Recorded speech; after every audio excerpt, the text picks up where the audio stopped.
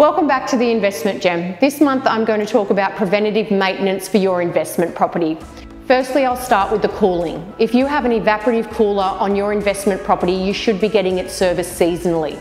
So at the start of summer, contact your tradesman to give your air conditioner a once over. This includes cleaning it, checking all the parts and making sure it's running efficiently. The second item is your gas ducted heating system. So your gas ducted heating system should be serviced at the start of winter. They also have a return air filter which can be found located inside the home, either in the wall or in the ceiling. During winter, these should be cleaned fortnightly, at the least monthly. So is your property manager trained on how to teach your tenants to clean their return air filter for their gas ducted heating system. If this filter blocks, it can cause overheating to your system and it can potentially cause the unit to shut down.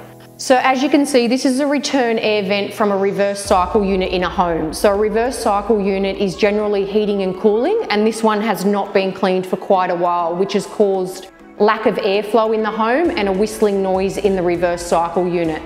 This can potentially blow up that unit in the home if it's not serviced and serviced correctly.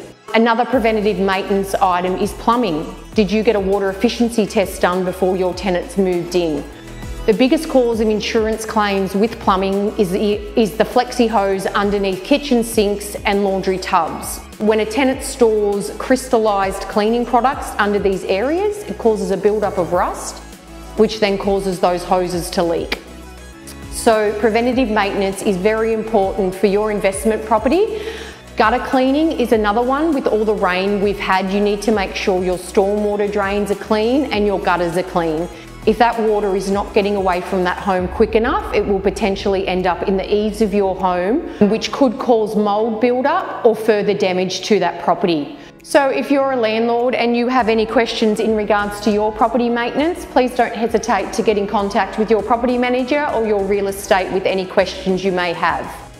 So next month, I'm focusing on answering any questions that landlords may have in regards to their investment properties. So if you have any questions or you have something you'd like to know without having to contact a real estate, please send me a private message and I'm happy to either answer anonymously or post it on my next video. So see you all next month on the Investment Gem.